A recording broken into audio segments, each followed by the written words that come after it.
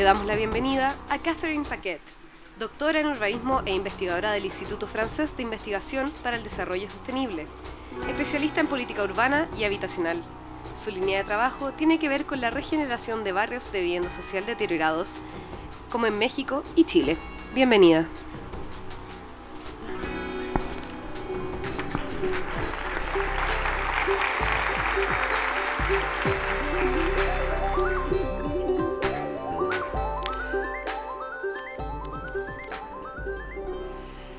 Desde hace un poco más de una década, la población del planeta se ha vuelto mayoritariamente urbano.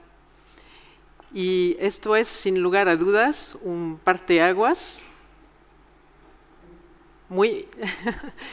Tenemos un problema con, eh, con, este, pero a ver si me puede... Sí. It's a, a water divider that's very important for the world, and this urban population will not stop growing. We think that as como siete de cada diez planeta vivirán en ciudades. En este contexto, lo que vamos a ser capaces de hacer con nuestras ciudades, en nuestras ciudades, será totalmente determinante para el futuro de nuestras sociedades una pesada carga para los arquitectos y los urbanistas. Ahora, ¿qué sucede en las ciudades y con las ciudades? A nivel global, a nivel general, sigue existiendo una relación muy clara entre el nivel de urbanización de un país, por ejemplo, y su nivel de desarrollo.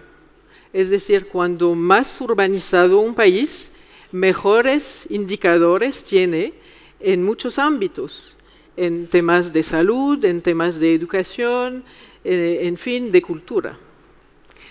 Ahora, si nos vamos a la ciudad, si miramos las ciudades, ¿qué es lo que vemos? Vemos que probablemente las ciudades están dejando de ser, han dejado de ser lo que siempre han sido desde que, desde que existen las ciudades, desde que los hombres crearon ciudades. Es decir, espacios que permiten el desarrollo tanto económico como social, humano en general, espacios de emancipación para los seres humanos. Eh, tenemos un claro deterioro de las condiciones de vida en las ciudades sin ser catastrofista, porque también hay visiones catastrofistas de, la ciudad que tampoco hay que adoptar, pero vemos claramente que se presenta un deterioro general de la calidad de vida en las ciudades. Deterioro ambiental, por una parte, lo sabemos muy bien, temas de calidad del aire, temas eh, también en otros temas de agua, en fin, eh, muchas eh, problemáticas, pero también un deterioro social marcado en las ciudades.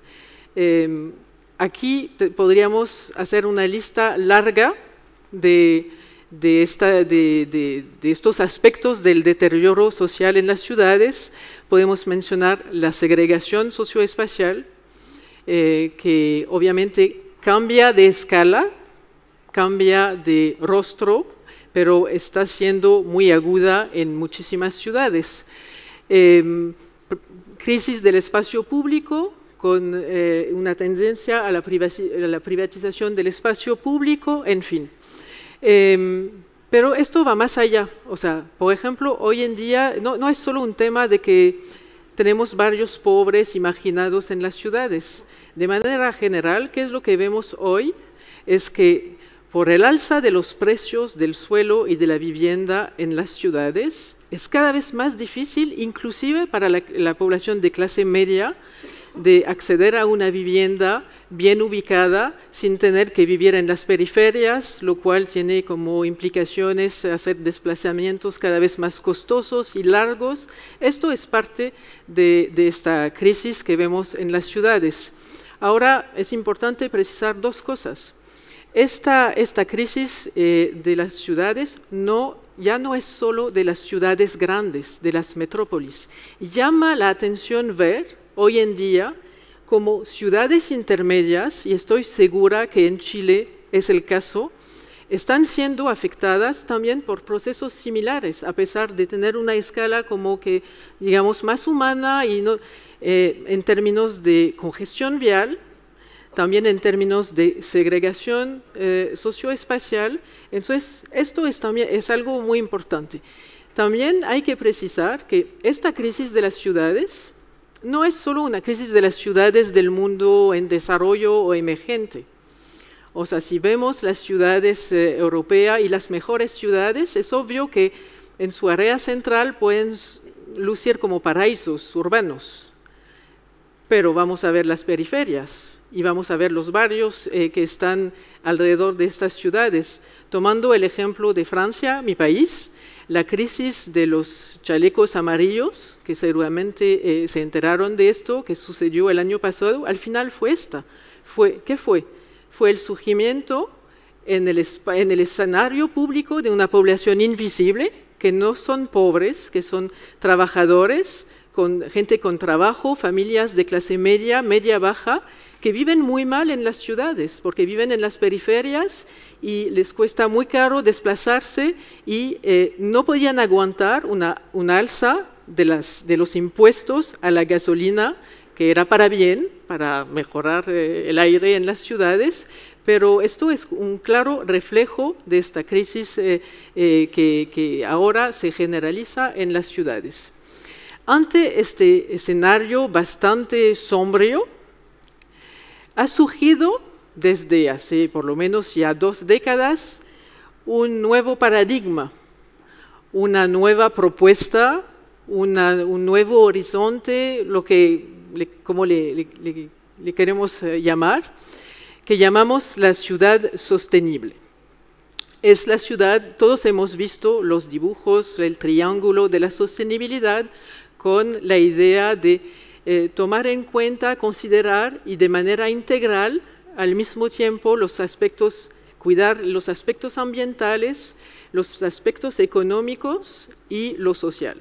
Entonces, la ciudad sostenible busca aplicar este principio de la sostenibilidad a la ciudad, buscando ciudades que sean al mismo tiempo, eh, bueno, que preserven eh, el medio ambiente, que no tengan eh, impactos en materia de deterioro, que sean competitivas económicamente, de modo a poder ofrecer empleos a sus habitantes y prosperidad económica, y que esta prosperidad económica obviamente sea compartida y que haya bienestar social y que haya cohesión social en las ciudades. Es esta ciudad con el lema que ahora se usa mucho, la ciudad que no deja a nadie al borde del camino, que no deja a nadie atrás. Para enfatizar el tema de, esta, de este panel en, en la tarde, ciudades habitables simplemente, ciudades en las cuales los habitantes no solo sobreviven, sino que viven bien. Esta propuesta de, ciudad sostenible ha sido objeto de una, esta idea de la ciudad sostenible ha sido objeto de una apropiación bastante amplia por, por parte de todos los actores. Desde las Naciones Unidas, eh, tenemos desde el 2015 17 eh, objetivos de desarrollo sostenible planteados por la ONU y uno de ellos es para las ciudades precisamente, para este tema de ciudades eh, sostenibles. Entonces, hay una apropiación y difusión de esta idea desde este nivel de Naciones Unidas hasta las políticas nacionales, que están todas empapadas por este tema de la sostenibilidad, las políticas locales también, los actores económicos, hoy en día los promotores inmobiliarios venden sus productos en base a esta idea de la sostenibilidad. También la sociedad civil se, apropió esta, idea y nosotros ciudadanos estamos inmersos en esta retórica general de la ciudad sostenible, que no es solo una retórica, porque hay que decir que si bien bueno, son argumentos así que a veces eh, eh, son pretextos, también hay avances también eh, vemos que hay proyectos buenos y que de cierta forma eh, vamos por buen camino y vamos progresando en, varios ámbitos. Esta tarde quisiera desde mi modesta posición de investigadora, urbanista, eh, que trabaja sobre todo estos temas de ciudad en Latinoamérica, reflexionar, compartir, proponerles una reflexión acerca de este tema de la, de la ciudad sostenible, empezando por una mala noticia. La mala noticia, si quiere llegar, es que a pesar de los esfuerzos actuales que se están haciendo, e inclusive imaginando que vamos a duplicar estos esfuerzos, que vamos a invertir más, que vamos a desarrollar más proyectos, ¿sí? es muy poco probable que podamos contar en un futuro próximo con ciudades más sostenibles. Porque nos falta en particular, hay algo que no estamos haciendo, creo que para nada, y vamos a ver lo que es. Entonces, la buena noticia es que podemos cambiar esto. Eh, ¿Por qué podemos decir que no, no vamos, si, seguimos haciendo las cosas de la misma manera, aunque dupliquemos los esfuerzos, no vamos a, llegar a mejorar nuestras ciudades con este tema de la ciudad eh, sostenible? Porque lo que vemos claramente es que en lo que estamos haciendo hoy, predomina una perspectiva ambiental. Y no quiero decir que no sea importante el medio ambiente, o sea, el tema ambiental es fundamental. O sea, el tema del aire, el tema del agua, el tema de la biodiversidad, el tema, o sea, y más aún con el cambio climático, o sea, que refuerza esta, esta necesidad. Pero tenemos eh, claramente esta, esta dominación de esta perspectiva hasta tal punto que si hoy hubiera empezado yo preguntándoles a ustedes, a ver, para ustedes, ¿qué es la ciudad sostenible? Estoy casi segura que muchísimas personas me hubieran contestado, la ciudad sostenible es la ciudad verde y que me hubieran hablado de eficiencia energética de los, edificios, de transporte limpio, de estas temáticas vinculadas al ambiente. Ahora, el tema, eh, el tema social, vemos, o sea, como decíamos, la sostenibilidad precisamente no es solo lo ambiental, es lo social, lo económico y es precisamente la manera integral en la cual podemos eh, atender las problemáticas incluyendo a, estos, eh, a estas dimensiones. Vemos que claramente tenemos muy pocos proyectos, muy, muy poca acción en la materia. Y eh, para regresar al tema de las palabras que usamos, como cambió mucho el tema de la, palabra sostenible, que significa se reduce hoy en el tema de, la ciudad, de, lo verde, estamos obligados a usar otro tema. Cuando queremos hablar de la ciudad sostenible, pero en lo social, usamos el término de ciudad inclusiva. Entonces, eh, vemos que está esta predominancia, pero de hecho, el problema va más allá. No es solo que tomemos en cuenta lo ambiental y hagamos pocas cosas en lo social.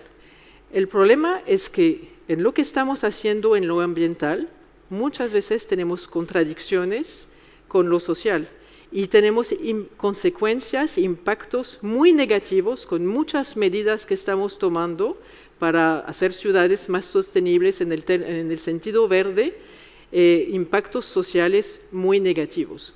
Podríamos eh, mencionar muchos ejemplos. Eh, lo que me, mencionaba en un inicio acerca de los chalecos amarillos y de las medidas para la gasolina y, que es uno de estos ejemplos. hay muchos más. podemos ver un ejemplo muy interesante que es el ejemplo de la vivienda social verde. Esto es una fotografía de un barrio en México, cerca de Tijuana. Hay que saber que en México hay una política de producción masiva de vivienda social, de hecho que se copió de Chile y que es el mismo esquema.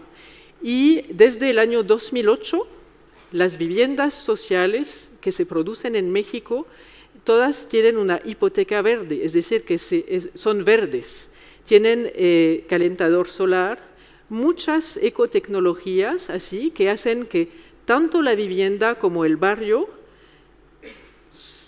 son sostenibles, se venden como sostenibles.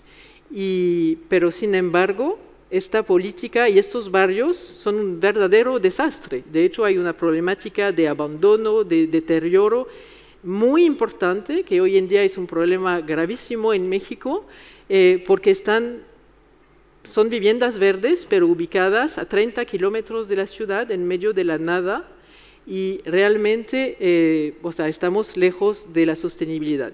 Es un ejemplo. Nos podemos ir a otro ejemplo bien interesante que tiene que ver con el urbanismo. O sea, para los urbanistas, hoy en día, el principio de la ciudad densa y compacta es realmente el lema mayor. O sea, si queremos construir ciudades más sostenibles, tenemos que fomentar ciudades más densas y compactas. Y, o sea, las virtudes de la densidad y de la compacidad son múltiples porque así, eh, si crecemos eh, eh, así hacia adentro, densificando las ciudades, vamos a evitar de crecer, vamos a absorber parte del crecimiento sin urbanizar en las periferias. Así que ahorrando el consumo de tierras, en fin, también es la ciudad vibrante, o sea, de la interacción social, o sea, la ciudad densa, es también la ciudad de la competitividad económica. En fin, tiene todas las ventajas. Es lo que también llamamos, hace, la semana pasada eh, salió un artículo eh, del, eh, representante regional de ONU Habitat para América Latina que explicaba que esta ciudad densa y compacta que tenemos que construir es finalmente la ciudad del cuarto de hora, en la cual vamos a tener todo a la mano y todo muy cerca. Em, la regeneración urbana, que es una tendencia mayor del urbanismo actual, eh, precisamente se apoya, está muy vinculada a esta idea de ciudad densa y compacta, porque está basada en la idea de reconstruir la ciudad sobre sí misma, recuperando todo lo que podemos recuperar, sobre todo áreas obsoletas, eh, deterioradas, que podemos volver a repoblar, a reutilizar. Hay un alto potencial en América Latina, en las ciudades latinoamericanas en materia de regeneración urbana, porque la particularidad de las ciudades latinoamericanas es precisamente tener áreas centrales deterioradas, despobladas. Eh, ahora, ¿qué es, lo que sucede con los impactos de, eh, estas, eh, de, las políticas que consisten en densificar, redensificar, regenerar la ciudad? Lo que muestran las investigaciones, tanto en Europa como en Latinoamérica, aquí tenemos dos ejemplos de libros que se publicaron en Latinoamérica, es que lamentablemente las acciones que, estamos llevando a cabo en este ámbito generan, tienen impactos bastante negativos, en el sentido en que generan un desplazamiento de población eh, debido al alza de los precios de los alquileres y de los precios de las viviendas, eh, cuando se llevan a cabo operaciones de regeneración urbana o de redensificación, paulatinamente hay un cambio de población, lo cual hace que al final se refuerza la segregación socioespacial en ciudades que ya están muy afectadas por este problema. Puede suceder también, tenemos otro impacto, tipo de impacto también. Aquí seguramente reconocen esta fotografía que es cerca del metro Padre Hurtado. O sea, por una parte tenemos impactos en términos de gentrificación, pero en otros casos, cuando no existe una demanda tan fuerte, por ejemplo, por parte de grupos de niveles socioeconómicos un poco elevados, podemos tener un tipo de densificación, de redensificación, que es bastante espantoso y que es nada sostenible y nada viable, porque esto es de mala calidad, eh, no tiene inserción urbana, es muy artificial porque estamos frente a un parque habitacional de puros departamentos muy chicos, la gente que los compra no es para vivir y yo creo que esto dentro de pocos años va a entrar en un círculo de deterioro un poco preocupante. Entonces, eh, el tema es ¿por qué esta idea tan buena y que no podemos negar de, reciclar la ciudad, redensificarla y que tiene todas estas virtudes y que no podemos hacer, mm, o sea, sí tenemos que hacer eh, ciudades más densas y compactas, en teoría, ¿por qué da estos impactos negativos que pueden ser de distintos tipos? Es bastante sencillo. O sea, el principal actor de la fábrica de la ciudad es el desarrollador inmobiliario. No está mal, o sea, hasta aquí todo normal. El tema es que si no existe una autoridad pública suficientemente robusta en términos de eh, su capacidad de regulación del desarrollo urbano, pero no solo de regulación, sino de plantear una visión y un rumbo a ver, vamos a redensificar esta parte de la ciudad. Ok, pero ¿qué es lo que queremos? ¿Quién queremos que llegue aquí? ¿Y cuáles son las necesidades? ¿Y qué tipo de espacio urbano queremos? Fijando claramente eh, a través de varios instrumentos que existen y que también podemos, eh, podríamos detallar, pero ya me pasé de tiempo bastante. Eh, entonces, si no existe esto, es bastante normal que los, o los precios se vayan para arriba o que los desarrolladores inmobiliarios saquen el máximo provecho y las ganancias máximas urbanizando con estas torres de mala calidad. Eh, ¿Cuál es el problema, en definitiva? Es que el modelo de ciudad neoliberal que tenemos, en particular en Latinoamérica, pero no solo, con una escasa regulación del desarrollo urbano, es totalmente incompatible con este esquema y esta propuesta de la ciudad sostenible. No vamos a llegar a ningún lugar porque el tema del desarrollo social, la dimensión social que hace falta, no es negocio para nadie. O sea, el tema verde, o sea, yo no tengo ninguna duda acerca de que vamos a avanzar mucho en los próximos años en la ciudad verde, también en la ciudad inteligente, que no hablamos hoy, pero es otro tema muy interesante, porque en esto hay empresas que están actuando en esto y pueden mejorar y aportar innovaciones, en fin, es un mercado para alguien. Y no está mal que sea un mercado para alguien si esto permite avanzar en buenas condiciones, pero el desarrollo social no es un mercado para nadie. Y nadie se va a hacer cargo, o sea, si las autoridades no se hacen cargo del desarrollo social, nadie lo va a hacer. Entonces, lo que nos hace falta realmente si queremos construir ciudades más sostenibles mañana, obviamente es cambiar las prácticas de nosotros los habitantes, es eh, em, innovar, eh, buscar nuevas eh, tecnologías para limpiar el aire, o sea, todo esto lo tenemos que hacer y, sí, hay mucho trabajo, pero si no trabajamos para